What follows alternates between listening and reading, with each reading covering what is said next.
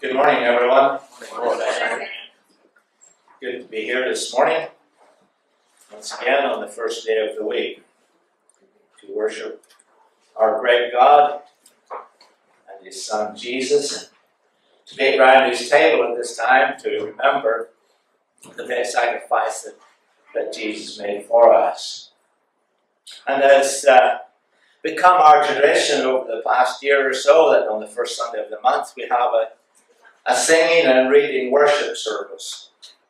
A time, a time to just sing hymns or gospel songs and to read from God's Word and let His Word and the meaning of the songs um, sing into our minds and to draw us closer to, uh, to our God. Today, as uh, you already know, we are singing and reading about the Lord's discipline. The word discipline uh, means the establishment of correct order and behavior with rules, training, etc. Now, on Hebrews chapter 12 and verse 11, it says that uh, no discipline seems pleasant at the time. And I'm sure if you can think back to when uh, we were little tykes and we just didn't do what our mum or dad said, uh, we sort of knew what was going to happen. The discipline wasn't going to be very nice. In uh, Proverbs chapter 5 and, and uh, verse 12, it says, How I hate discipline. And uh, sometimes uh, we are inclined to hate discipline, but uh, when we look back, uh, we realize just how important it was. Uh, our youngest son, uh, he worked one time for a, a in a fairground, and uh, he came home and, and uh, he said, said, I'm glad, he said, you two disciplined me when I was young. He said, I had some kids today that were in the fairground and said they were just as arrogant as they could be. So, at least we had managed to do something that, was appreciated. But in, in Proverbs chapter 12 and verse 1, it says, Whoever loves discipline loves knowledge. Now, no matter uh, what it is in life that uh, we are doing or we want to attend, it will require discipline. Discipline to keep studying when all of our friends are out having fun. Is that right, Ruth?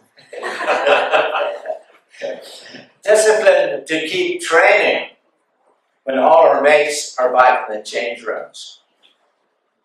Discipline to keep practicing when all our friends are on their computers. And it's the same with in, in, in work where you are doing an apprenticeship, it may there's still studying to be done. Uh, getting on to books that can tell you more about the trade that you are uh, uh, working in or starting to work in. And it's the same for the Christian. They have to discipline themselves to have their weekends organized so that their Sunday mornings are free, that they can come and attend the worship service. And part of our worship is meeting around our Lord's table and taking part in the Lord's Supper. Regularly meeting around our Lord's table prepares us for those times when we are tempted to deny our Lord and Savior Jesus Christ. In Mark chapter 4, uh, 14, sorry, and beginning at verse 66. While Peter was below in the courtyard, one of the servant girls of the high priest came by. When she saw Peter warming himself, she looked closely at him. You also are that you also are with that Nazarene Jesus, she said. But he denied it. I don't know or understand what you are talking about, he said, and went out into the entryway. And when the servant girl saw him there, she said, she said again to those standing around, This fellow is also one of them. And again, he denied it. After a little while, a while, those standing near said to Peter, Surely you are one of them, for you, you are a Galilean. And he began to call down curses, and he swore to them, I don't know this man you are talking about. And immediately the rooster crowed the second time. And then Peter remembered the word Jesus had spoken to him. Before the rooster crows twice, you will disown me three times. And he broke down and wept. Too, too many Christians deny their Lord in times of crisis. And what a terrible sense of guilt, sense of guilt and, and judgment Peter must have felt when that rooster crowed. He would not, we would not want or expect that to happen to us, but it could. And like Peter, we are often tempted to deny Christ when, in order to please those around us. On the uh, first day of every week, we are, uh, we are to gather to confess Christ and to commune with Him around His table. And through this regular confession and communing, we are reminded how much Christ loved us, and in turn, he, uh, we are strengthened and encouraged to live Him and to be faithful to Him in all things. Christ died for us, so we must remember that He was not ashamed to go to the cross for us, and we should never deny Him or be ashamed to tell others of Him. Let's pray together. Dear God in heaven, as we meet around your table at this time, we thank you for the, the privilege of being able to be part of your family, of being able to uh, call ourselves uh, brothers and sisters in your family, and to look to you as our Father in heaven, who supplies all our needs. And Father, we thank you for this opportunity today. Help us, Father, as we commune with you around the table at this time, that, Father, we will uh, allow uh, or take what we uh, feel and what we gain uh, from studying your word and from meeting around your table, from taking part of the a part of these emblems, Father. That we will carry this into the week that lies ahead, and that Father, we will be strengthened for those moments when uh, Satan will uh, try to get under our guard we thank you for the uh, bread that represents the precious body of Jesus, in which he uh, suffered so much uh, for each of us. And ask, Father, that you would uh, be with us, that you would forgive us of our sins as we meet round your table at this time. And we thank you too, Father, for the fruit of the vine that represents his precious blood, poured out so willingly and so freely to take away our sins. Help us, Father, to realize just what a great privilege, privilege it is to be a child of yours and in your family. In Jesus' name, amen.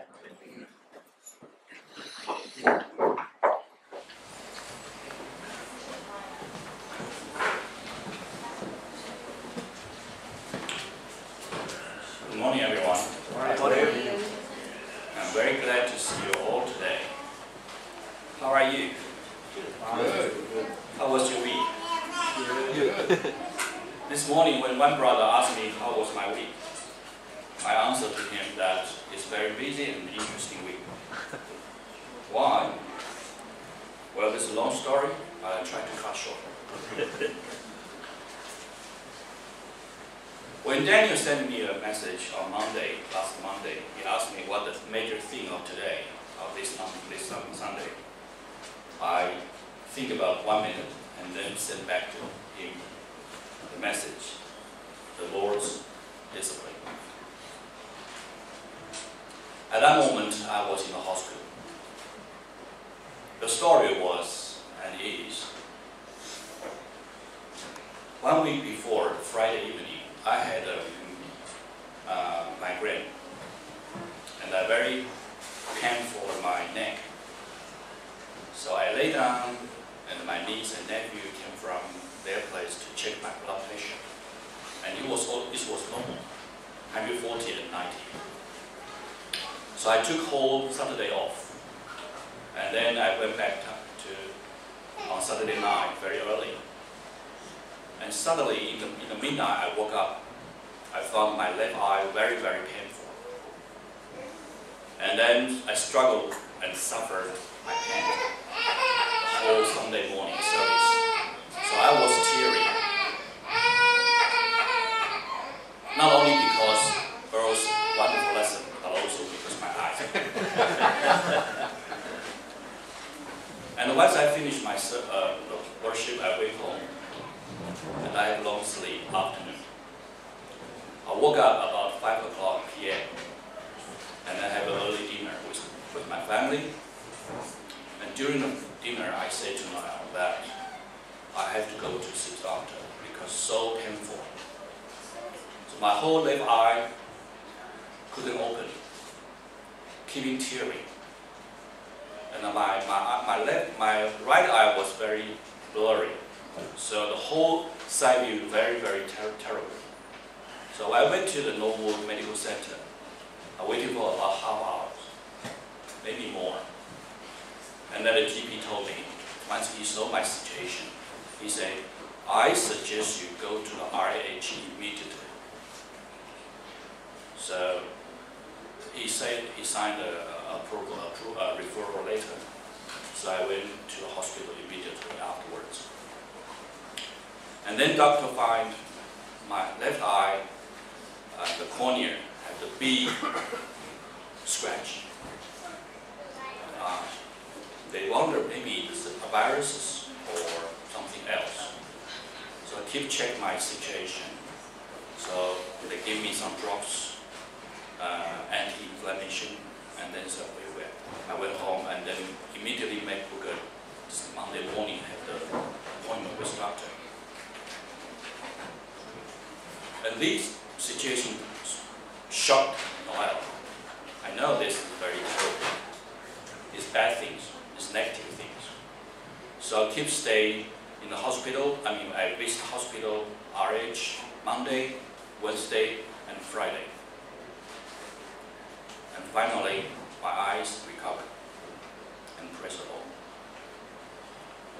This is a very short story, but during this uh, this week, the Lord's Spirit inspired me that this kind of process of, of discipline. The reason because I was sitting in front of the desk too long. My position just like a turtle because I have to watch the uh, screens. So my whole position just like. and if you visit my house, you can see uh, we have a pet. We have the turtle in the park. And the turtle every day just lie on his dock just like this.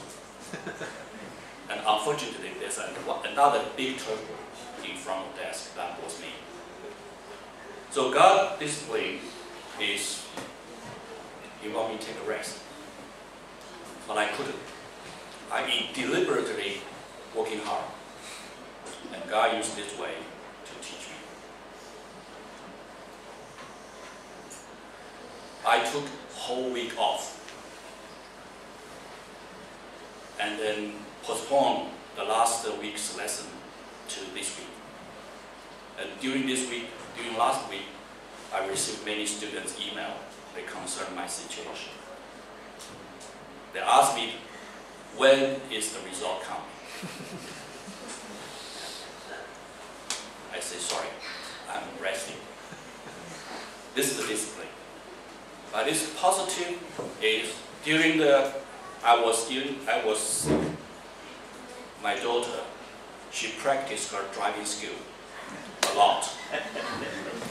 Precisely parking roadside without any problem. Driving on the road without problem. Even I was pick up my son from high school.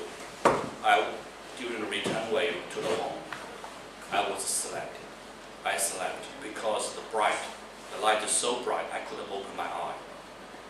So I slept. But she's just a learner.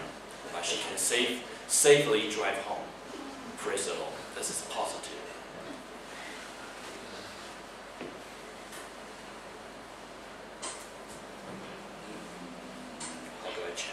page.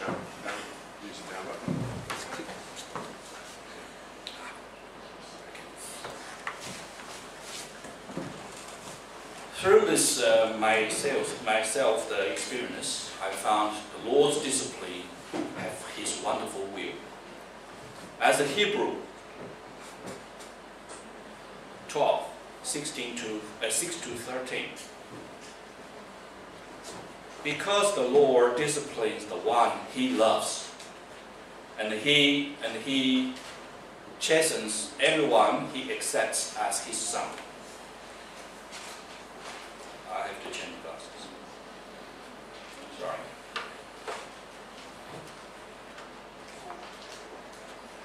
Daniel, can you help me to read it? I asked myself.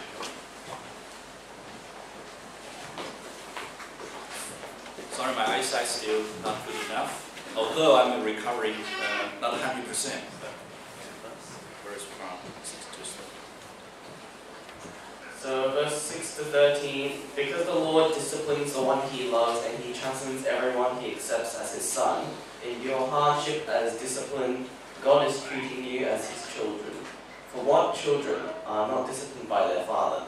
If you are not disciplined, and everyone undergoes discipline, then you are not legitimate, not true sons and daughters at all. Moreover, we have we all we have all had human fathers who disciplined us, and we respected them for it. How much more should we submit to the Father spirits and live? They disciplined us for a little while as they thought best, but God disciplines us all for our good, in order that we may share in His holiness. No discipline seems pleasant at the time, but painful. Later on, however, it produces a harvest of righteousness, and peace for those who have been trained by it. Therefore, strengthen your feeble arms and weak knees. Make level paths for your feet, so that the lame may not be disabled, but rather healed. Uh, that's good. Discipline. Ouch. But afterwards, happy, and I realized it's the Lord's mercy and His grace.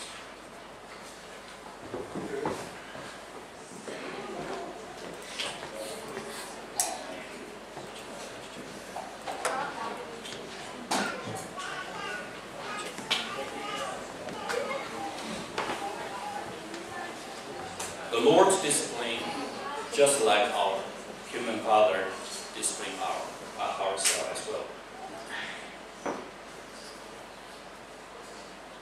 In the uh, Proverbs 4, 1 to 5. Listen, my sons, to a father's instruction. Pay attention and gain understanding. I give you sound learning. So do not forsake my teaching. For I do, I too was a son to my father, still tender and cheered by my mother. Then he told me, and he said to say to me, Take hold of my words with all your heart, keep my commands, and you will live. Get wisdom, get understanding. Do not forget my words or turn away from them. I was suffering because I didn't listen the Lord's rules. I worked too hard. I avoid His commands. Proverbs 4, 23 to 27. Above all else, guard your heart, for everything you do flows from it. Keep your mouth free of uh, perversity, perversity. Keep corrupt talk far from your lips. Let your eyes look straight ahead, for, for fix your gaze directly before you. Give careful thought to the paths for your feet, and be steady, uh, steadfast in all your ways. Do not turn to the right or to the left. Keep your feet, foot from evil. I remember uh, last time when our brother Dan, uh, Andrew, Andy, he had an eye surgery. I was teasing him just like uh, one eye panda. But this time, the words come back to me. Become one eye turtle. Proverbs 12, 1, 13, 1, and 19, 18. Whoever loves discipline loves knowledge, but whoever hates correction is stupid. A wise son heeds his father, father's instruction, but the mocker does not respond to rebuke. Discipline your children, for in that there is hope. Do not be a willing party to their death. Do not withhold discipline from the child. If you punish them with the rod, they will not die. Punish them with the rod and save them from death. Discipline is to avoid the death. A rod and a sorry, reprimand impart wisdom, but the child left undisciplined disgrace its mother. Discipline your children, and they will give you, you peace, and they will bring you the delights your desire. May the Lord bless all parents and all children. God, the Lord's discipline through He let me have the eye problem, and He let me take a whole week off. He let me suffer the pain, but also He let me recharge, just like a flat battery and be charged. And He let my daughter practice her driving skills incredible. So this is a kind of uh, blessing because God loves us. God let us know what which way we should go. As Job 5, 17 to 27, because my eyes uh, view is not good enough, I asked Daniel, my son, come to help the reading the scriptures. Sorry, the writing is just a bit too small on the screen, so. Job 5, 17 to 27. Blessed is the one whom God corrects, so do not despise the discipline of the Almighty. For he wounds, but he also binds, he wounds, but he also binds up. the injuries, but his hands are also, but his hands also heal. From six calamities he will rescue you. From seven no harm will touch you. In famine he will deliver you from death, and in battle from the stroke of the sword. You will be protected from the lash of the tongue, and need not fear when destruction comes. You will laugh at destruction and famine, and need not fear the wild animals. For you will have a covenant with the stones of the field, and the wild animals will be at peace with you. You will know that your tent is secure. You will take stock of your property and find nothing missing. You will know that your children will be many, and your descendants like the grass of the earth. You will come down, you will come to the grave in full vigor, like sheaves scattered in season. We have examined this, and it is true. So hear and apply it to yourself. Lord's discipline is to help to avoid death, to help us grow up, to help us to know how to face our future, because He loves us.